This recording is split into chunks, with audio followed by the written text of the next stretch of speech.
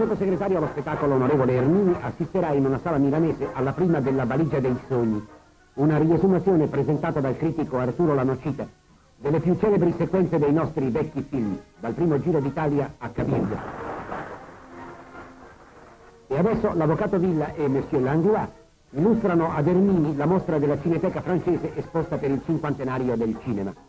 Il fucile fotografico con cui nell'82 Marais, riprendendo 10 immagini al secondo, dava questa cronofotografia allora strabiliante dell'uomo in corsa.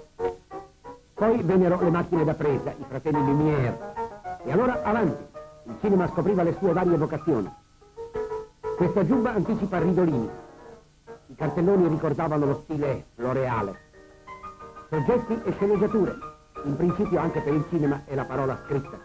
Le dive si annunciavano con una mimica liberty. Pina Menichelli, gridava l'imbonitore, in un nuovo colosso dell'arte muta. Un modo di dire col muto, dammi una sigaretta.